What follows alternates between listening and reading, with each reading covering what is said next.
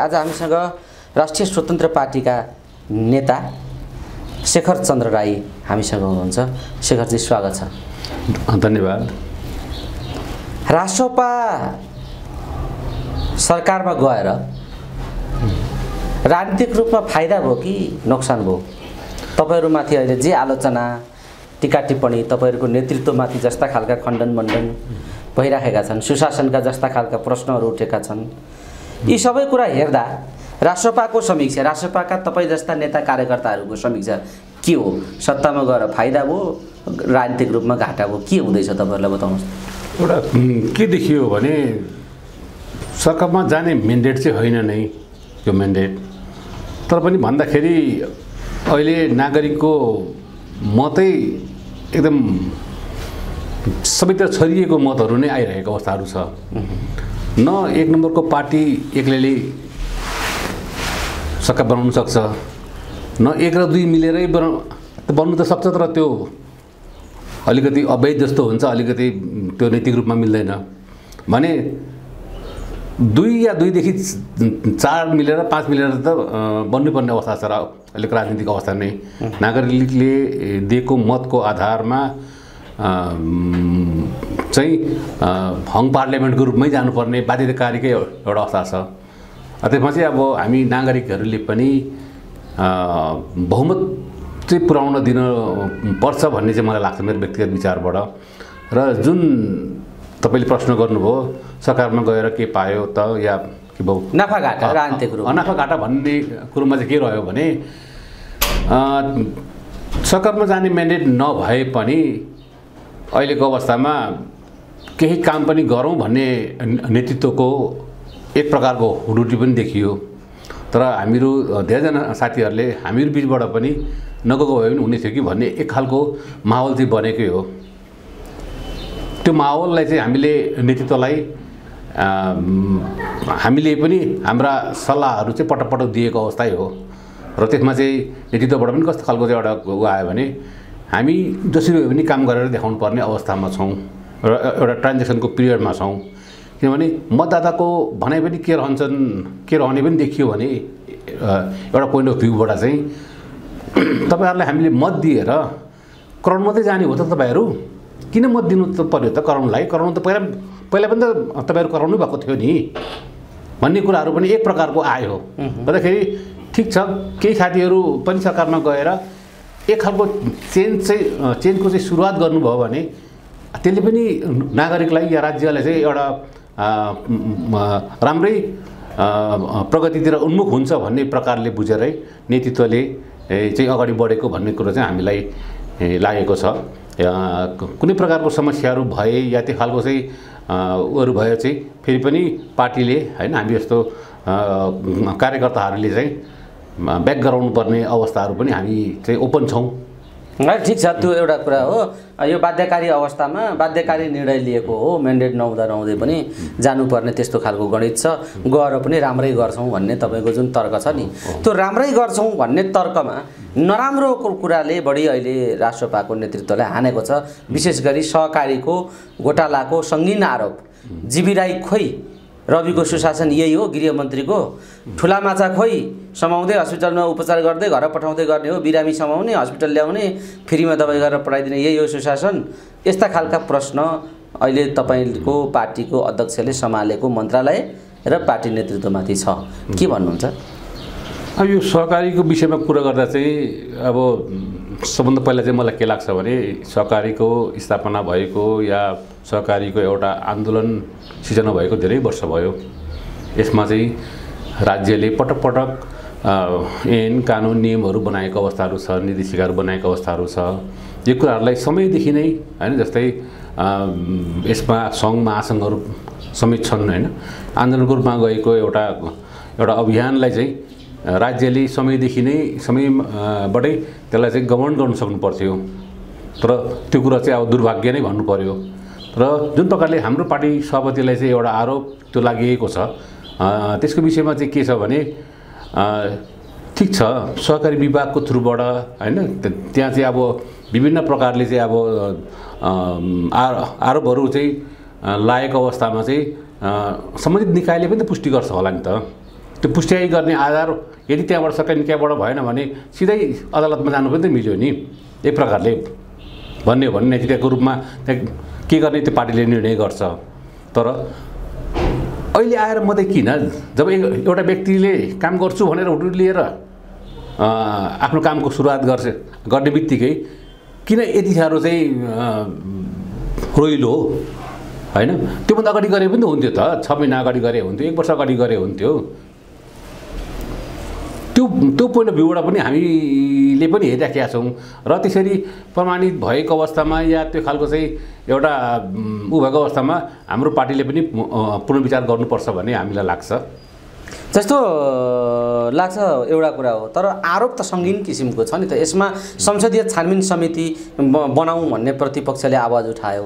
यदि त्यो छानबिन समिति बनाउने हो भने राजीनामा गर्छु भनेर सत्ता नै सरकार नै ढालिदिन्छु भन्ने ठाउँमा रवि लामी छानेको प्रतिक्रिया आयो। भनेपछि सत्ताको एउटा अप्ठ्यारोलाई अस्त्र बनाएर छानबिन समिति नै बन्न नदिने खालको भूमिका गृहमन्त्रीले तपाईँका पार्टीका अध्यक्षले गर्नुभयो भन्ने खालको प्रचार बाहिर छ।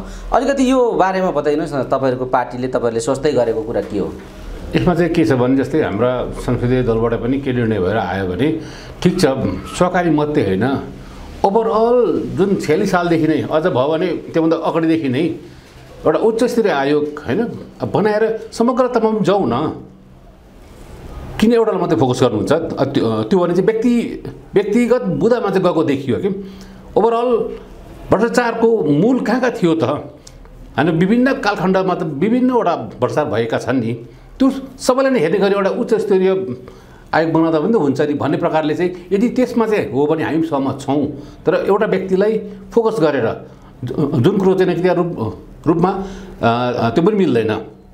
कि समग्रतामा जानु पऱ्यो त्यो भयो भने चाहिँ राम्रो हुन्छ र त्यो कुरोमा चाहिँ हाम्रो पार्टीको पनि समर्थन रहेको कुराहरू पटक पटक मिडियामा आइसकेको अवस्था छ। होइन ठुलो दलले मात्रै होइन। हुँदा हुँदा अहिले त काङ्ग्रेसले त विषय उठाएकै छ। हुँदा हुँदा राप्रपाले समेत सङ्गीन आरोप लगाउन थालेको स्थिति छ। अब राप्रपाका सांसद ज्ञानेन्द्र साई त नाङ्गो रूपमै रासपाका मन्त्री र सांसदहरूमाथि खनिएको स्थिति छ। भनेपछि सानादेखि ठुला दलसम्म सबैले रासपामाथि रासपाको नेतृत्वमाथि रासपाका मन्त्रीहरूका काममाथि प्रश्न उठाइराखेको स्थिति छ। अब रासपाले यसको जवाफ कसरी दिन्छ? प्रश्न उठाउनु पाइन्छ अनि त्यसलाई चाहिँ कानुनी आधारहरू लिएर त्यसलाई च्यालेन्ज पनि गर्नु पाइयो। तर विरोधको लागि विरोध चाहिँ नगरौँ। विरोधको लागि विरोध गर्दाखेरि त पहिला पनि भइराखेको कुरा हो नि। होइन हामीले पनि तिसौँ वर्षदेखिको राजनीति हेरिराखेका छौँ। होइन विरोध गऱ्यो दुई चार महिना छ महिना फेरि जुन कुरोमा विरोध गर्यो फेरि छ महिना पछाडि उसैसँग अङ्गल मारेर हिँडिरहेको अवस्था त हामीले पनि भोगेको हो नि पटक पटक भोगे हो नि। त्यो भएको हुनाले राष्ट्र राप्रपाले पनि विरोध गर्यो भन्ने कुरामा चाहिँ खासै ठुलो अन्तर ऊ चाहिँ नरहला कि जस्तो लाग्छ मलाई। त्यसै कारण चाहिँ भक भ्रष्टाचारको विषयमा चाहिँ विषय उठ्नुपर्छ छानबिन हुनुपर्छ समग्रतामा जाउँ। त्यो नै एउटा राम्रो उपाय हो कि भन्ने मलाई चाहिँ लाग्छ। र पार्टीले पनि त्यही भनेको अवस्थाहरू छ। ठिक छ यो एउटा सन्दर्भ हो। अर्को कुरा एकातिर विषयहरू यसरी उठेका छन्। तपाईँको नेतृत्वमाथि दोस्रो उपचुनावको चटारो पनि छ तपाईँहरूलाई अहिले। अब इलामको स्थिति के हो तपाईँहरूले गरेको आकलन के हो? अब आफैले जित्छ भन्ने तपाईँले पक्कै भन्नुहुन्छ तपाईँ त्यो पार्टीको नेता भएको हिसाबले। तर जित्ने आधार के हो? इलामको स्थिति के हो बताउनुहोस् त। अब इलामको अवस्था के छ भने अहिले सबै नागरिकहरूले एउटा परिवर्तनको आश गरेका छन्। जुन भइरहेको यथास्थितिमा नागरिकहरू बस बसिराख्न सक्ने अवस्था नै छैन। किनभने धेरै उत्पीडनहरू धेरै व्यतिथिहरू बढेको अवस्थाहरू छ। जस्तै हामीहरू केही दिन अगाडि गयौँ इलामतिर मुख्य गरी म चाहिँ पश्चिम इलामका इलामको पश्चिम भेगमा चाहिँ धेरै हामीले हेऱ्यौँ। त्यो हेर्ने क्रममा चाहिँ जस्तै मुख्य त बाटोकै अवस्था। किन यो इलामको पश्चिमी भेगलाई चाहिँ विशेष फोकस सबै दलले गरेका होलान्? एमाले पनि इलाम पश्चिमलाई बढी फोकस गरेको छ पश्चिमतिरको साइडलाई? काङ्ग्रेसको त टोटल्ली शक्ति नै पश्चिम इलामको पश्चिम साइडमा केन्द्रित छ। तपाईँहरू पनि पश्चिम केन्द्रित इलामको पश्चिम भागलाई फोकस गरेर अभियान चलाइराख्नु। यसको कारण के हो? अब अरू साथीहरूको के छ त्यो कुरो चाहिँ जानकारी भएन तर मलाई मेरो व्यक्तिगत रूपमा भन्नुपर्दा चाहिँ व्यक्तिगत रूपमा नै भनौँ मैले व्यक्तिगत रूपमा भन्नुपर्दा चाहिँ मेरो आफ्नो पुरानो घर मेरो पुर्ख्यौली घर पनि त्यही बाटोमै भएको हुनाले चाहिँ विगत तिसौँ वर्षदेखि म हिँडिराख्ने बाटो पनि त्यही नै हो। होइन तिस वर्ष अगाडिदेखि नै हिँड्दाखेरि हामी पेरुङ्गेको बाटो भएर हिँड्थ्यौँ। तेरुङ्गे फेरिङको बाटो भएर हिँड्थ्यौँ। र पछि गएर पन्ध्र बिस वर्ष अगाडिदेखि बाटो जब खुलिसकेपछि त्यो बाटो पनि हामीले पोहोर पनि अब पटक राखेको अवस्थाहरू छ। र विकटता चाहिँ हामीले पूर्वभन्दा पनि पूर्वमा त सदरमुकाम भएको हैसियतले धेरै वर्ष अगाडि पिच पिच बाटो गयो। त्यो बाटो हुँदै हुँदै उता राँकेतिर फिल्मतिर पनि बाटो पुग्यो पिच बाटै पुग्यो रविसम्मै आयो त्यो पिच बाटो। तर त्यो बिचको बाटो जुन बाटो चाहिँ दमक दमक भनौँ या झापाको सिमानादेखि पाँच दस किलोमिटर पनि छैन। जस्तै माङ्सिबोङ तिन चारहरू भयो होइन? यता चुलाचुली छहरू भयो त्यो माथिल्लो भेगहरू। बाटोले गर्दाखेरि विकटता भयो। जस्तै अस्सी नब्बे किलोमिटर पर सदरमुकाम चाहिँ एक प्रकारले कालोपत्र दशकौँ अगाडि गइसकेको अवस्थाहरू थियो भने दमक बजारबाट केही किलोमिटर मात्रै पा होइन? माथि चुलाचुलीमा चाहिँ अझै कालोपत्रे त होइन ग्राभल पनि नपुगिरहेको अवस्था पुलहरू नपुगेको अवस्- अवस्था एटलिस्ट अ, बिजुली बत्ती पनि नपुगेको अवस्था भर्खर लाइनको ट्रान्सफर्मरहरू चाहिँ राखिरहेको अवस्थाहरू छ जस्तै त्यो टोड्के कुसुन्डेहरू भयो। त्यो बाटो चाहिँ एकदमै पिछडिएको मलाई चाहिँ के लाग्यो भने नेपालको कर्णाली जस्तो फिल भएर आयो। किनभने बत्ती पनि पुगेको छैन टुकी बालिरहेको अवस्थाहरू छ। होइन बर्खामा बर्खामा जब बेलहरू बग्न सुरु गर्छ मान्छेले त्योभन्दा अगाडि नै सामानहरू चाहिँ बोराको बोरा लिएर राख्नुपर्ने हुन्छ तिन छ महिना बर्खा लाग्नु अगाडि हिउँदमै सामान स्टक गर्नुपर्ने समस्या छ अवस्थाहरू छन्। गर्दाखेरि त्यो कुराहरू अझै पनि भइरहँदाखेरि चाहिँ हामीलाई पनि त्यो कुराहरूले धेरै छुएको अवस्थाहरू छ। र त्यो कारणले चाहिँ अलिकति मैले चाहिँ इलामका पश्चिम भेगहरूलाई एक त पाँचतरको सिमाना पनि भयो र आफू पनि हिँडिराख्ने बाटो भएको हुनाले चाहिँ त्यो भेगलाई अलिकति नजिकबाट निहालेर चाहिँ आएको अवस्थाहरू हो। र त अब जित्ने आधार के हो त तपाईँहरूले चुनाव जित्ने आधार? इलाममा इलाम दुईमा उपनिर्वाचन तपाईँहरूले जित्ने आधार के हो? जित्ने आधार भन्दाखेरि चाहिँ अब हामीहरू कमिट कमिटेड छौँ। त्यहाँको स्थानीय रूपमा चाहिँ हाम्रो मिलनजी स्थानीय सबै कुराहरूलाई चाहिँ भोगेको भुक्तभोगीको रूपमा चाहिँ उहाँलाई हामीले उठाएको अवस्थाहरू छ। होइन एउटा अगबारे उम्मेदवारको रूपमा चाहिँ होइन उहाँलाई धेरै वर्ष अगाडिदेखि नै यो विभिन्न खालको समस्याहरू त्यहाँ कहाँ स्कुल छैन कहाँ कस्तो चौकी छैन बाटोको समस्याहरू के भइराखेको छ बिजुलीको समस्याहरू के छ भन्ने कुराहरू चाहिँ सबै कुरोको सबै कुरो चाहिँ ज्ञान भएको त्यहाँको स्थानीय उम्मेदवार होइन एउटा जनजातिका छोराको हैसियतले पनि उहाँलाई चाहिँ हामीले अगाडि बढाएको अवस्थाहरू छ। भने एउटा प्रतिबद्धता अहिलेसम्म जुन हाम्रो पार्टी भर्खर पन्ध्र सोह्र महिनामा चाहिँ एक प्रकारले काम गर्ने हुटुटी लिएर त जुन प्रकारले आएको छौँ। त्यो हुटुटी उहाँको पनि उहाँ पनि देखिएको हुनाले पार्टीले चाहिँ उहाँहरूलाई अ, उहाँलाई चाहिँ निर्णय गरेर अगाडि बढाएको अवस्थाहरू चाहिँ छ। जस्तो एउटा स्थानीयताको कुरा गर्नुभयो। स्थानीय व्यक्तिलाई नै हामीले हाम्रो उम्मेदवार बनाएका छौँ। त्यस कारणले चुनाव जित्छौँ भन्ने एउटा त्यो तपाईँको तर्क रह्यो। त्यति मात्रै काफी छ त चुनाव जित्नलाई अब यसमा सबै स्थानीय भने- नेता छन् नि, अरू पनि। त त्यहीँका मान्छे हुन् डम्बरजी। त्यहीँको मान्छे अब अर्को हाम्रो थेगिमजी त्यहीँको मान्छे अरूसँग तुलना गर्दा चाहिँ कस्तो हुन्छ भने अरूसँग तुलना गर्नुभन्दा पनि हाम्रो चाहिँ के चाहिँ भयो भने जस्तै भ्रष्टाचारको रूपमा जस्तै त्यो सडक वर्षौँदेखि चाहिँ पूर्णता नपाएको अझ भनौँ त्यो त्यो माथिल्लोपट्टिको सेक्टरमा त कालो सूचीमा पनि परिसकेको त्यो विभिन्न कारणले गर्दा चाहिँ चुनावमा लगानी गऱ्यो अनि चुनाव पछाडि चाहिँ फेरि लगानी उठाउने जुन वातावरणहरू छन् त्यो एरियामा पनि। त्यति त्यति मात्रै पनि नगर्दाखेरि पनि नागरिकहरूले केही न केही चाहिँ रिजल्ट पाउँछन् भन्ने प्रकारले नै हामीले चाहिँ उहाँलाई मिलनजीलाई चाहिँ अगाडि बढाएको अवस्था हो। त्यहाँको वातावरणहरू चाहिँ बुझेको र अनुभवी व्यक्तित्वलाई नै अगाडि बढाएको अवस्था हो। होइन तपाईँले यसो भन्दै गर्दा नि त्यहाँ अब विभिन्न खालका आरो अवरोहहरू पनि छन्। विभिन्न खालका चुनावी फन्डाहरू पनि प्रयोग भइरहेका हुन्छन्। अब शून्य समय बढी खतरनाक हुन्छ भन्छन् चुनावमा अब पैसाका खेलो। खेलोमेलो पनि छन् भन्ने छ। अर्को कुरा यति धेरै ठुला ठुला पार्टीहरूले पनि त्यसलाई प्रतिष्ठाको विषय बनाइराखेको उपनिर्वाचन नै जीवन मरणको विषय हो भने जस्तो गरी दलहरू लागेको अवस्था पनि छ। यस्तो अवस्थामा राष्ट्रिय स्वतन्त्र पार्टीको प्रतिस्पर्धा कोसँग? अहिले इलाममा इलाम दुईमा। अब मुख्य गरी मलाई लागेको चाहिँ प्रतिस्पर्धाको रूपमा गर्दाखेरि एमालेकै एक प्रकारको गढ भएको हुनाले एमालेसँगै हुन्छ भन्ने चाहिँ लागेको छ र अहिले यो पछिल्लो समयमा चाहिँ पहिचानवादी पहिचानका कुराहरूको विषयवस्तु धेरै उठेको अवस्थाहरू छ। अहिले जुन केही समय अगाडि पूर्वाञ्चलमा या भनौँ एक नम्बर क्षेत्र कोशी प्रदेशमा चाहिँ एउटा पहिचानको आन्दोलनहरू भयो।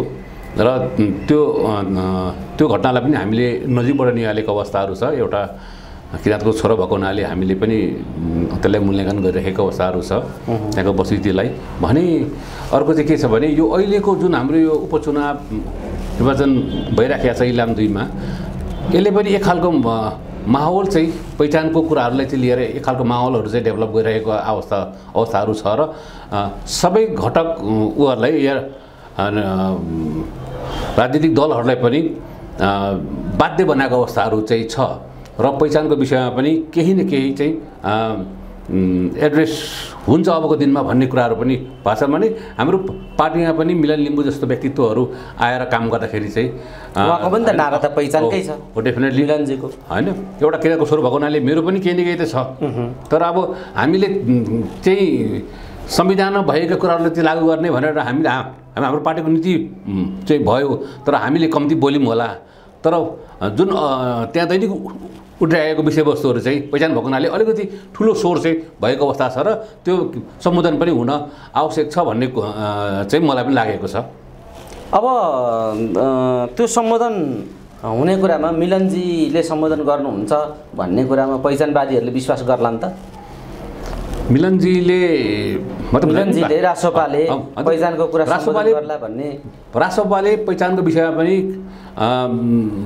सम्बोधन गर्नैपर्छ भन्ने मेरो पनि बुझाइ हो होइन मेरो पनि भनाइ हो किनभने हामीले पूर्वाञ्चलमा काम गर्नलाई या कोशी प्रदेशमा काम गर्नलाई पहिचानका विषयवस्तुमा केही मिहिन प्रकारले जानुपर्ने अवस्थाहरू पनि छ। अब पहिचानमा पनि धेरै कुराहरू छन् जस्तै किराँत प्रदेश या होइन लिम्बुवान प्रदेश भन्ने कुराहरू पनि छन्। अब त्यहीँभित्र पनि समस्याहरू छन्। तर त्यसलाई कसरी चाहिँ एउटा मिटिङ पोइन्टमा पुर्याउने भन्ने कुराहरूमा पनि डिटेलमा जानुपर्ने अवस्थाहरू छ। होइन त्यहाँ अब घटकहरू पनि अब होइन त्यहाँभित्र पनि घटकहरू धेरै छन्। भनेपछि मुख्य प्रतिस्पर्धा अहिले रासोपाको इलाम दुईमा एमाले र पहिचानवादीसँग हो। हजुर मलाई चाहिँ त्यो लाग्छ एमालेको गढ भएको हुनाले पुरानो गढ भएको हुनाले र र पहिचानको कुराहरू अहिले हालसालै निस्किएको हुनाले चाहिँ पहिचानको विषयमा अलिकति मुख्य गरी प्रतिस्पर्धा उहाँहरूसँगै हो। अनि काङ्ग्रेसको त नामै लिनु भएन काङ्ग्रेस प्रतिस्पर्धी होइन अहिले? मलाई चाहिँ त्यस्तो लाग्छ किनभने अब काङ्ग्रेसको एक त अलिकति त्यो बाटोले गर्दाखेरि अलिकति बिग्रिन्छ कि भन्ने चाहिँ मलाई लाग्छ। किनभने बाटोमा ठेक्कापट्टा गर्ने गर्ने र बाटो अहिलेसम्म चाहिँ सुधार नहुनुमा पनि केही साथीहरूको चाहिँ आफ्नो एउटा इन्ट्रेस्ट छ भन्ने कुराहरू पनि बुझिँदैछ। र जुन अलिकति अघिल्लो चुनावमा पनि भ्रष्टाचारको कुराहरू विभिन्न कुराहरूले गर्दाखेरि चाहिँ अलिकति उ छैन कि भन्ने चाहिँ मलाई लाग्छ। भनेको काङ्ग्रेस अहिले प्रतिस्पर्धी होइन। मलाई चाहिँ होइन जस्तो लाग्छ।